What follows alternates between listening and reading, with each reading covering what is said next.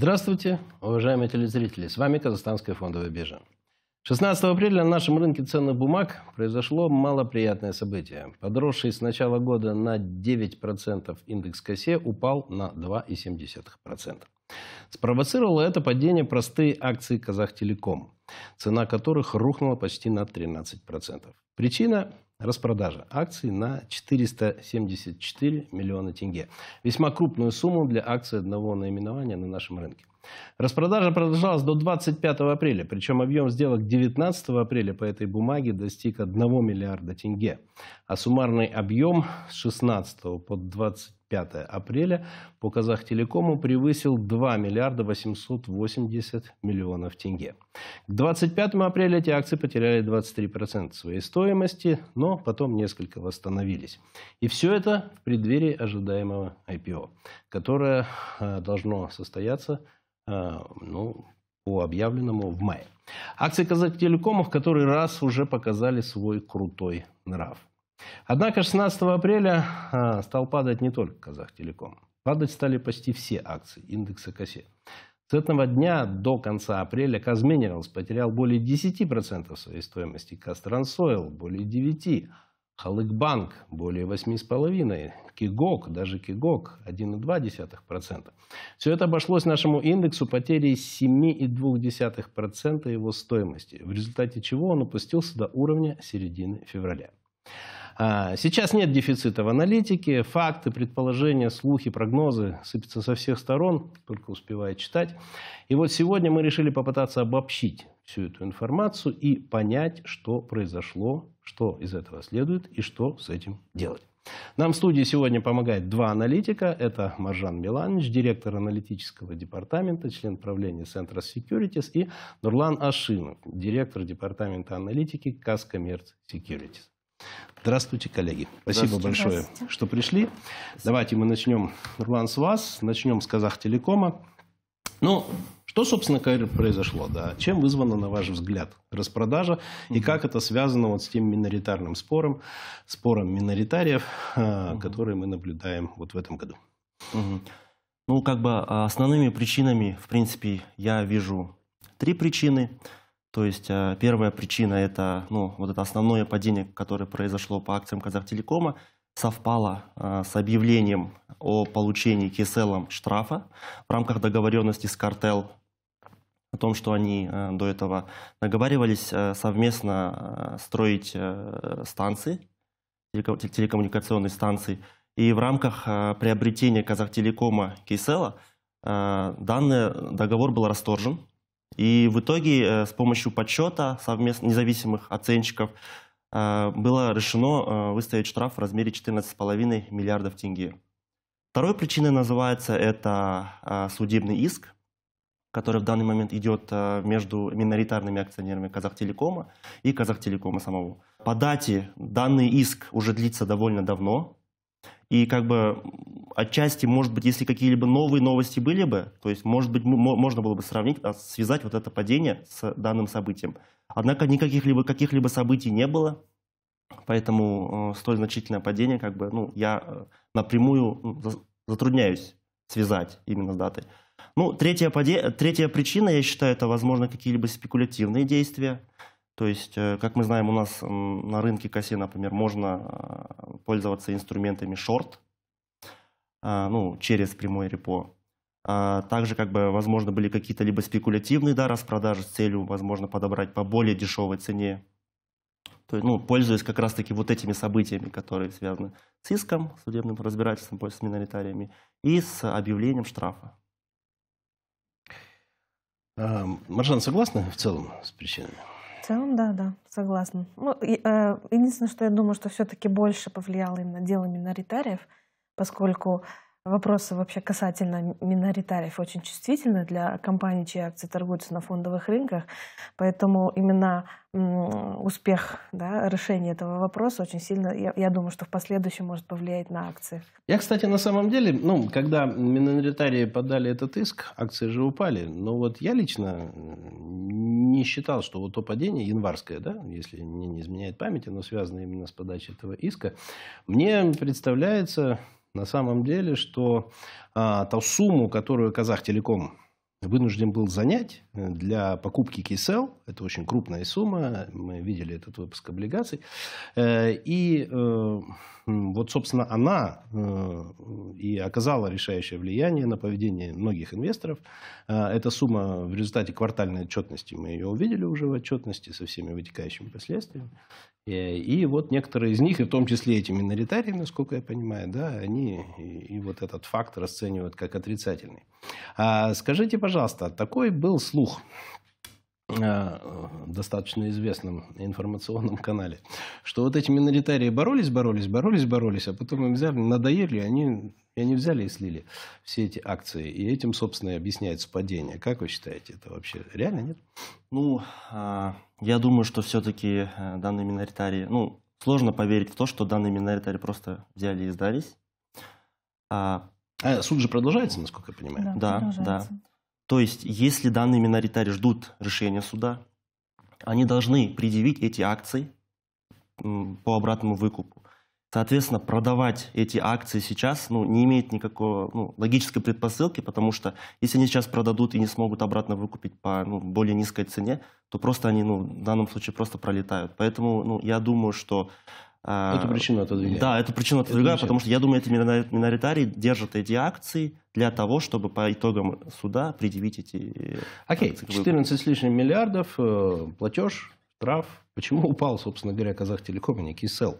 Ведь самое поразительное, что если говорить с 15 апреля по сегодняшний день, а, как раз Кисел-то выглядит лучше всех фактически, ну, не считая там банк Центр Кредит в индексе. А, почему? Я считаю, что в любом случае, поскольку Казахтелеком является материнской компанией теперь Кисела, и такой значительный э, штраф э, в размере 14,5 миллиардов, на самом деле, в конечном итоге, скорее всего, отразится на консолидированных результатах материнской mm-hmm. компании. Возможно, поэтому Казахтелеком больше отреагировал на эту новость. А, в любом случае, как я уже говорила, что Казахтелеком падал не только на этой новости, но и были другие причины. А касательно KSL, мы считаем, что все-таки там, скорее всего, есть какие-то, какой-то спекулятивный спрос – почему акции Киселла в целом держатся. Угу. Хотя мы уже знаем, что э, этот довольно крупный штраф уже сел на финансовых результатах Киселла за первый квартал. Угу. И в, э, в итоге Кисел показал около 9 миллиардов убытка. Что он, Причем акции практически не отреагировали, во всяком случае, до сегодняшнего дня. Скорее всего, здесь спекулятивный очень большой спрос, наверное, на KSL, потому что мы уже давно сами рекомендуем эту акцию к продаже, поскольку э, видим, что финансовый результат ухудшается. Однако есть потенциал в любом случае у акции KSL в будущем за счет операционной синергии, возможно, с компанией Altel. Ну в любом случае мы ждем на самом деле каких-то новостей от Казахтелекома по дальнейшему э, развитию э, KSL и Altel. Я думаю, что от этого тоже, наверное, зависит. Вернемся все-таки к Казахтелекому. А, как вы считаете, Нурлан, вот э, эти сделки, ну вот полмиллиарда, потом еще чуть меньше полмиллиарда, на следующий день один миллиард по Казахтелеком. Это договорные сделки или все-таки это сделки с вовлечением широкого количества розничных инвесторов? Все-таки я считаю, что вот этого объема, который вы озвучили, основную долю, естественно, сыграли какие-то определенные крупные игроки. Угу. И не, ну, Сложно исключить тот факт, что данные, данные сделки, возможно, были договорные угу. в целях каких-либо спекулятивных действий. Угу, угу. Да, потому что, да, в сети тоже озвучивалось мнение, что наш рынок, он не может э, обладать такой емкостью. Если тут 2 э, миллиарда продают, то, естественно, это договорные сделки. Однозначно крупные Но, игроки, да. На самом, на самом деле, да, то есть там ну, видно было, те, кто видел это все в стакане, да, что большое количество инвесторов на самом деле стояло и с той, и с другой стороны, поэтому я где-то, в общем, к вам а, присоединяюсь. А, но почему вот инвесторы так нервно вообще реагируют вот, на все это дело? Вот я все-таки не верю, что главное конфликт. Скажите а, ваше мнение. Может ли это быть связано с грядущим СПО? Ну, например, такая идея – сейчас опустить пониже Казахтелеком, а это повлияет на оценку Самрука, который будет цену размещения откорректирует вниз, и в результате для инвесторов будет хороший запас для того, чтобы акция дальше росла, потому что фундаментальные показатели Казахтелеком, насколько я понимаю, сильные. Но мы к этому еще вернемся. Как вы оцениваете такую гипотезу? В принципе, это возможно или это бред? Ну, в принципе, э, данную гипотезу ну, полностью исключить нельзя, но все-таки я как бы, ну, все-таки склоняюсь, что все-таки были больше спекулятивные действия со стороны каких-либо игроков для того, чтобы, ну, заработать на этом. Mm. Ну, а то, что это более стратегическая такая цель, ну, тоже как бы исключать я не могу в данный момент, потому что какие, ну, разные события на самом деле могут иметь место быть. Ваше мнение, Мажан? Ну, кроме того, я считаю, что, возможно, некоторые инвесторы специально фиксировались по акции э, компании вот на косе, чтобы угу. иметь э, свободные денежные средства для того, чтобы инвестировать а, потом вот на так МФЦ. вот, да, вот такое вот влияние да. может быть, да, потому что на размещение это будет на другой площадке, естественно, да. То есть, да, тоже, кстати, интересная, интересная достаточно идея. Поскольку сроки уже в Другое мае, Другое дело поэтому... фиксироваться вот именно на этой же акции, которую потом надо будет покупать. Э, в целом, скажите, пожалуйста, коллеги, как вы считаете, э, Инвесторы готовы эту яму выкупать по Казахтелекому? Ну, э, мы сейчас говорим о фундаментальных показателях, о фундаментальной ну, да, перспективе, да. да. Ну, если смотреть с точки зрения, например, э, довольно популярных мультипликаторов, то есть EV и EBITDA, да, то есть э, справедливая а стоимость предприятия на показатель EBITDA. Средний показатель по развивающимся рынкам Азии и Восточной Европе по телекоммуникационным отрасли, отрасли средний EV EBITDA составляет 6 коэффициент. По российским аналогам данный коэффициент составляет 5. Угу. У телекома данный коэффициент в данный момент составляет 3,9. То есть это говорит о том, что Казахтелеком ну, крайне недооценен. Угу.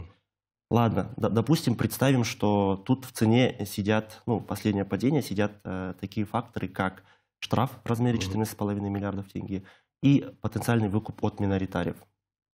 На выкуп подали 0,2%, то есть 22 тысячи акций по публичной информации. Эффект на акцию примерно составляет 77 тенге. То есть сейчас в данный момент спор больше идет не сколько купить или не купить, а спор идет по цене. Но даже если мы возьмем худший сценарий для Казахтелекома, угу. эффект на акцию 77 тенге. Угу.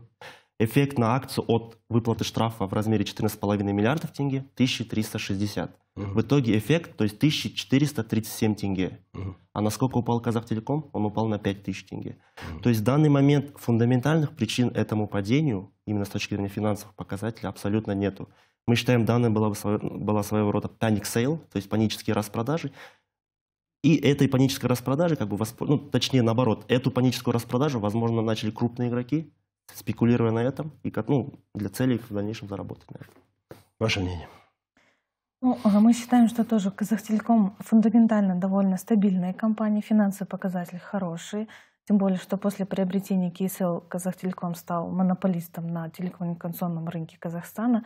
Как уже мой коллега Нурлан отметил, этот рынок есть еще куда расти этому рынку. Поэтому э, думаю, что интерес именно к Казахтелекому есть, есть потенциал роста, однако очень важно сейчас решить вопрос с миноритариями. И вы думаете, что он, это окажет существенным, то есть вот решение этого спора окажет какое-то очень серьезное влияние на цену, вы думаете так?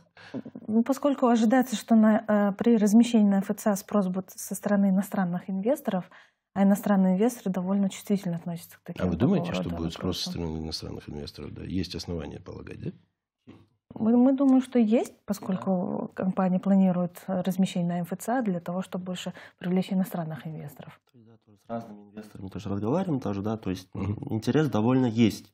Естественно, вопрос цены актуален, то есть там задорого никто не будет покупать, но при э, определенных там хороших показателях, хороших ценах, то есть я думаю, текущие цены, может быть, даже там цены там выше 30 тысяч, вполне привлекательны. То есть по нашей оценке, например, справедливая стоимость Казахтелеком то есть составляет 39 тысяч тенге. Есть, а, а, кстати, размещение большой. будет в долларах или в тенге? Э, если, ну, как бы...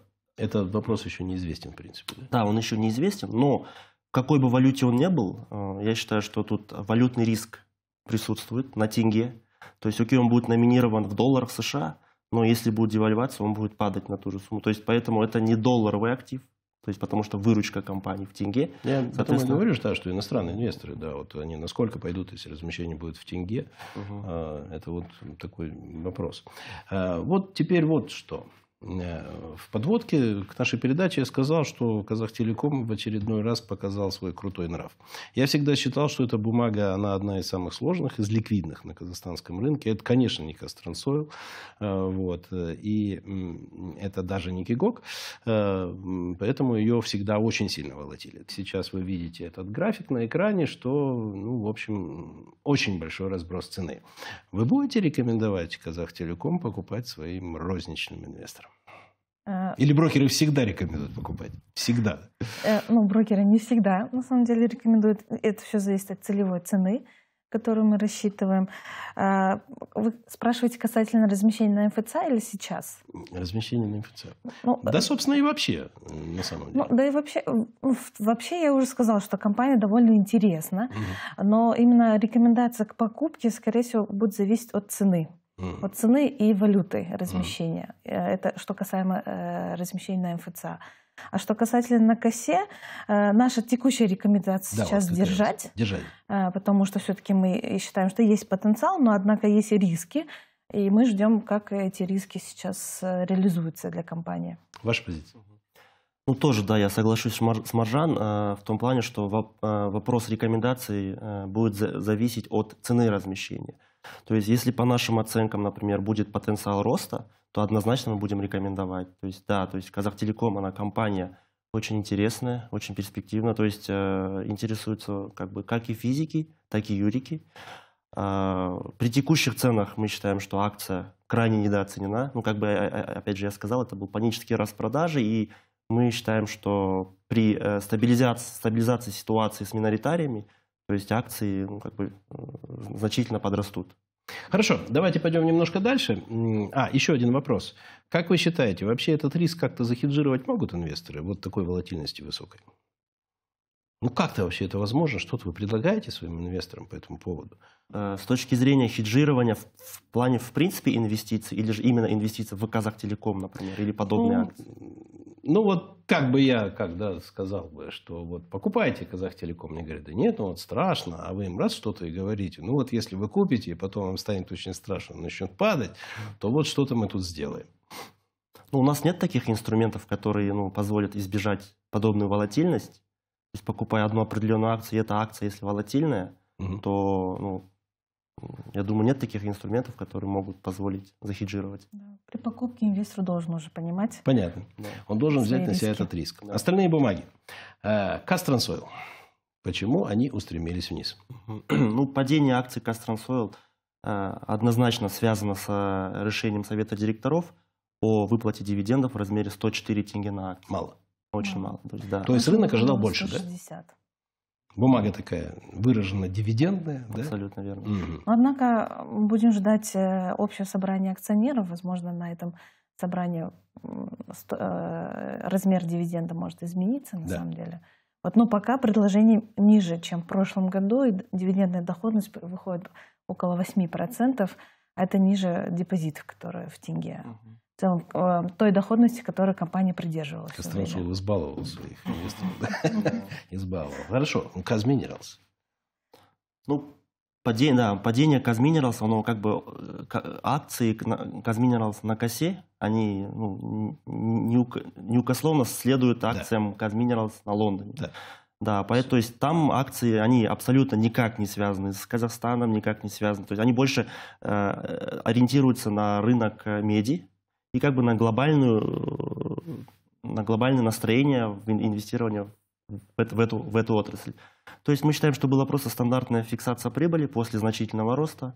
Также, ну, как бы, по, ну, также следовало падению цены на медь. Причем на фоне хорошей отчетности, на самом деле, да? Сколько производственные, да, производственные результаты, то есть 70 тысяч тонн меди, то есть оно, в принципе, как бы в рамках ожиданий по, по, на прогноз Связано погоды. ли то, что вот в принципе был достаточно продолжительный рост, э, с тем, что успокоились все по поводу приобретения Паимского месторождения на Чукотке? Как вы считаете? Я думаю, что пока да, пока эта новость никак не влияет на стоимость. То есть, когда только объявили, стоимость, конечно, очень сильно отреагировала. Но сейчас инвесторы больше ориентированы на производственные, на финансовые показатели компании, которые довольно сильные за 2018 год. И мы считаем, что вот коррекция э, этих акций произошла, скорее всего, на снижение цен на медь, поскольку мы видели, что после середины апреля цены на медь были волатильные, были mm-hmm. больше э, снижались, скорее всего, на фоне торговых э, споров. Э, понятно. У нас еще остался халык. Э, ну, не будем кигок трогать, там всего полтора процента, даже меньше. Хорошая позиция. Что с халыком не так? Ну, Халка по решению общего, годового общего собрания акционеров было принято решение о выплате дивидендов в размере 10.78 угу. тенге на акцию. Дата, дата фиксации реестра была 22 а, апреля, однако с учетом нашей торговой системы Т плюс 2, фактически ex-dividend date, то uh-huh. есть дата, после, ну, дата, в которой а, инвестор уже не может получить дивиденды, да, была 18 апреля. Uh-huh. И на практике, как бы после даты фиксации, фактически дата фиксации, акция падает на, на Все закономерно понятно. Закономерно. Угу. Все сошлось в одной точке. Да. То есть просто идеальный шторм произошел. Да, да, да, и... да, да. И вот в связи с этим возникает очень интересный вопрос. Индекс ХАСЕ – это национальный фактически фондовый индекс на сегодняшний день. К сожалению, там только 7 бумаг. Мы очень сильно стараемся. Вы, я надеюсь, тоже очень сильно стараетесь. Все стараются, чтобы там было больше бумаг, но пока не получается. А, вот скажите, пожалуйста, такой вопрос. А, как, по вашему мнению, насколько вот этот национальный индекс можно воспринимать, его движение, как индикатор вообще состояния дел в казахстанской экономике? А, вопрос к вам. А, на самом деле, исходя из истории, да, то, что индекс с начала года просел именно на корпоративных событиях угу. отдельных компаний, мы считаем, что все-таки э, динамика индекса в первую очередь отражает именно корпоративные события тех эмитентов, которые включены в индекс. Но другой вопрос, на корпоративные события эмитентов могут повлиять какие-либо макроэкономические новости страны. Вот, поэтому мы придерживаемся больше того, что индекс больше отражает именно корпоративный сектор. Ну, на самом деле, да. То есть им всегда управляли как бы в основном корпоративные истории, но вы очень хорошо заметили, да. Но на корпоративные истории, да, и экономическая ситуация, и даже где-то политическая, не имею в виду выборы, но вот, например, история там с разведкой добычи газ, да, с делистингами и так далее, это же, это же тоже все-таки какая-то, в принципе, политика. Ваше мнение?